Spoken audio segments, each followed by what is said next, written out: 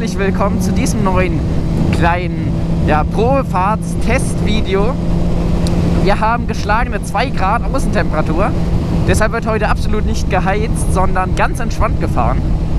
Ja, und ich fahre heute eine wunder, wunderschöne CBR 600RR PC40. Echt absolut geiles Teil. Ich werde später auch nochmal außen rumgehen, dass ihr seht, wie schön es ist. Und dieser Oh, dieser Klang ist göttlich. So, jetzt müssen wir hier ein bisschen langsamer machen. Ähm, genau, das ist die Maschine vom Kumpel von mir und die hat jetzt, er hat sie jetzt äh, seit ganz kurzem erst. Ich glaube, der dritte, vierte Tag, dass er fahren darf, oder dritte Tag. Äh, die ist gedrosselt auf 48 PS. Und ja, das ist die erste 600er Supersportler, die ich fahre. Und ich muss ganz ehrlich sagen, ich bin froh, dass ich keine Supersportler habe, weil für mich ist es nichts. Also es ist zwar so an sich ganz cool, du, du bist wirklich sehr, ja, du liegst drauf und so weiter, aber ja, das Gefühl, na, ich mag lieber meine Naked, aber es ist Gewöhnungssache. Also ich denke, ich würde hier auch nach kurzer Zeit sehr gut mit zurechtkommen. Was man auf jeden Fall sagen kann, also die Maschine geht auch mit 48 PS auf jeden Fall echt gut vorwärts. Wir waren vorgestern schon mal auf der Autobahn, da hat die Maschine 207 geschafft. Also ich habe mit ihr 207 geschafft. Ähm, also ja, hat sich auch echt gut angefühlt.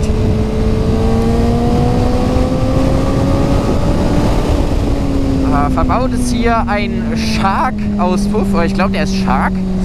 Brutales Ding, also der Sound ist echt absolut krank. Also komplett von allen Göttern verlassen.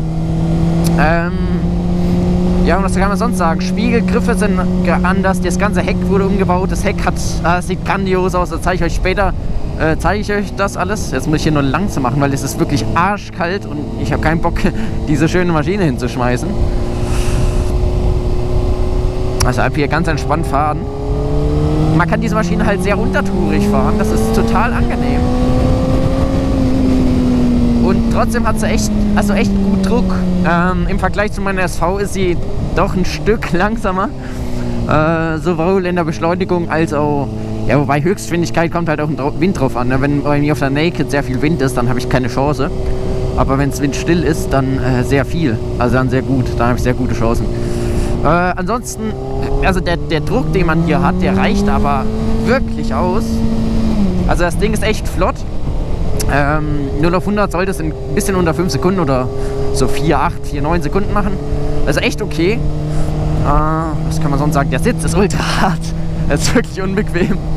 Aber sie fährt sich echt. Also, ich bin ja die E1 gefahren, wie ihr wisst. Ähm, und die bin ich ja nur gefahren der Leistung wegen, weil ich halt einfach mal wissen wollte, wie fühlen sich 170 PS überhaupt an. Äh, die Sitzposition bei der R1 war noch länger, also man lag noch mehr drauf. Und hier ist es echt okay. Also ich finde, man hat schon Gewicht auf den Handgelenken, das hat man ja. Aber es ist okay, also es ist nicht so schlimm, wie ich das dachte. Hm, vor allem jetzt in Kurven merkt man, das geht, das geht schon echt gut. Äh, und vor allem, obwohl die ja eine Sportler ist, sie fühlt sich dafür echt relativ handlich an. Oh, der Sound ist, also der Sound ist geil. Ich, ich weiß gar nicht, ob der so gut raufkommt, rauskommt auf diesem Mikrofon. Aber er ist einfach, einfach absolut geil. Jetzt machen wir mal ganz langsam, weil das ist wirklich dreckig hier. Uh, hi. Ja, also jetzt äh, haben wir eine Schleichtour, aber da kann ich ein bisschen mehr über das Motorrad reden. Was sehen wir denn hier überhaupt? Erstmal gucken. Wir haben hier eine Tankanzeige, richtig geil. Wir haben hier äh, Drehzahlmesser logischerweise, Geschwindigkeit, äh, äh, Temperatur, Trippzähler und eine Uhr. Äh, da ist jetzt irgendwie ein bisschen Feuchtigkeit rein oder ist ein bisschen dreckig, weiß nicht. Ja, was sieht man sonst? Äh, also die Maschine sieht natürlich absolut geil aus. Wie gesagt, ich zeige es euch gleich von außen dann nochmal. Boah, ist das hier dreckig. Ah, ekelhaft. Damals war so nicht geplant. Ich dachte, hier ist halbwegs sauber. Ja, ja, nee. Da machen wir mal ganz langsam. Wir sehen da mir, wie es staubt, deshalb äh, ja, möchten wir hier nicht so schnell fahren. Aber was, also was, ah, dieser Sound ist wirklich... Das Problem bei dem Auspuff ist ein bisschen, der ist fast zu laut. Also so jetzt ist es okay, aber wenn man auf der Autobahn mal fährt, so mit 7000 Umdrehungen, so 130 äh, und chillt, dann dröhnt das Ding Heidewitzgado. Also ohne Kack, da denkst du, dich zerreißt. Oder jetzt zerreißt die Ohren, sagen wir es mal so. So, wir fanden es hier echt ganz entspannt, weil das sieht gar nicht schön aus, was hier auf dem Boden ist. Ey, ey, ey. Was ist denn hier passiert? So dreckige Straßen habe ich ja schon ewig nicht mehr gesehen. Naja. Genau, was kann man sonst über das Motorrad sagen? Ähm, ja, also, es sollte 210, 215 gedrosselt Topspeed schaffen. Offen logischerweise so 260, 270, vielleicht 280 mit ganz viel Anstrengung. Ähm, zwischen offen und gedrosselt ist natürlich ein Riesenunterschied. Aber worüber ich auf jeden Fall reden kann, ist die, ähm, ja, die Drossel. Wie stark merkt man die Drossel? Weil sie ist ja doch, also so zwischen kein Gas und Vollgas liegt eineinhalb Zentimeter, würde ich sagen. Das ist jetzt natürlich nicht so viel, aber es ist okay. Also ich bin schon, äh, habe schon tausender Gixer gesehen. Da war wirklich dieser Gasweg so, also wirklich, du, du hast nur auf und zu. Das fände ich ein bisschen heftig. Aber hier auf der, das ist echt okay. Also man kann es echt gut fahren, auch gedrosselt. Aber ich finde, sie fühlt sich halt nicht so geil an. Weil das Problem ist halt, man kann die Gänge gar nicht wirklich ausfahren. Ja, nach, dem, nach dem zweiten Gang schaltest du sowieso immer viel früher, als der Gang überhaupt geht. Ja, und das fühlt sich für mich halt komisch an. Meine SV kann ich halt ganz normal ausdrehen, wie ich das will. Äh, und da spüre ich halt die Drossel nicht, ne? Aber hier spürt man sie schon relativ stark. Ah, ja, ja, ja, jetzt darf man ganz langsam machen. Also zum Fahrwerk kann man was sagen. Ähm, die Maschine ist schon relativ hart. Also jetzt vor allem auch so Wackeluntergrund. Man merkt schon, die ist hart. Aber ist okay. Also äh, ich würde damit jetzt auch fahren. Also ich würde damit jetzt auch über eine Hubbelstrecke fahren, ohne Schiss zu haben, dass mir danach der Arsch blutet. Äh, so, jetzt äh, kommt hier eine richtig eklig Kurve. Also die Strecken hier sind natürlich nichts. Ich hatte gedacht, dass es hier trockener ist. Ähm, aber hier, man sieht richtig, dass der Boden noch gefroren ist. Und ja, wir wollen natürlich nichts hier ablegen. Deshalb machen wir ganz entspannt. Kann leider kein, ich kann später noch mal gleich äh, kurz das 0 auf 100 bzw. 0 auf Vollgas geben. Äh, es geht hier nur leider nicht, weil es so wackelig ist und ich weiß nicht, ob man es in der Kamera sieht, aber der Boden ist gefroren. Man sieht, dass der Boden gefroren ist. Ja, und damit ist eben nicht zu spaßen, deshalb kriechen wir hier gerade ein bisschen.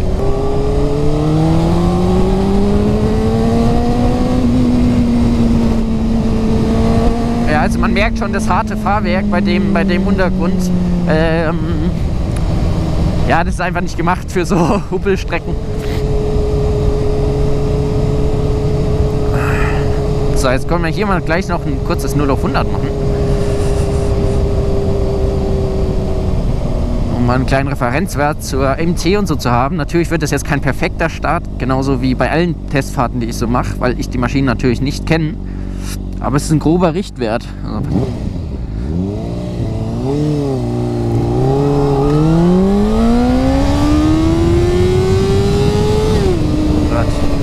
das Schöne ist, man kann im ersten Gang 100 fahren. Aber was ich noch sagen muss, genau bevor ich es vergesse, das Getriebe von dem Ding ist ein Traum. Also ich kann ohne Probleme, ohne Kupplung schalten. Das ist wie, wie dafür gemacht. Also wirklich, ja, als ob es wirklich das wäre. Ähm, also, ja, also das Getriebe ist der Hammer, ohne Scheiß. Meine SV-Getriebe ist so ein bisschen, ah, da musst du schon mal richtig reindatschen, dass auch der nächste Gang reingeht. Und du merkst, das ist so, ich sag immer schön, Männergetriebe. Da, da ist, ist einfach ein, ein schwer, äh, was heißt schwergängig nicht, aber ein äh, nicht so geschmeidiges Getriebe. Ja, wo es auch geschmeidig ist, aber das hier, das Getriebe hiervon ist der Hammer.